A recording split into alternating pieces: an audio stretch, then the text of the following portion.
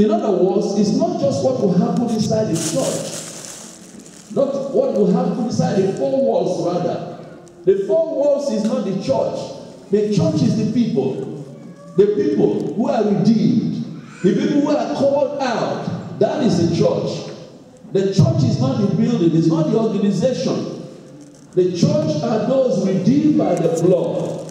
And so, make sure that every single one who is part of this ministry is truly discipled.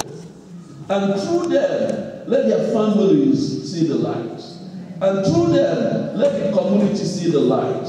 Southeast London, the Lord has brought into you today, and I speak into the atmosphere. I speak that the prince of the power of the air shall hear this word. Amen. The Lord is betting today a ministry committed to holistic gospel. Amen.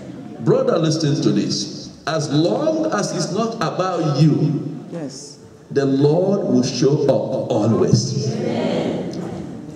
Amen. Because he said, And I, if I be lifted up, I'll do what? I'll draw all men to me. Amen. And so that day, we are committed to the triple R. I want you all to see that.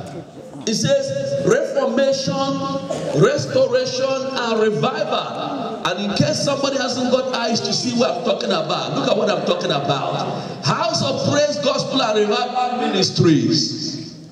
We are committed to the triple R reformation. What does it mean? The church in the United Kingdom needs a fresh visitation of Holy Spirit for reformation. Yes. The church has gone. You all know the story.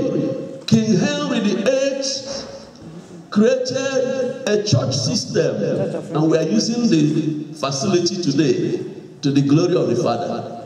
A system whereby the church and the state became one.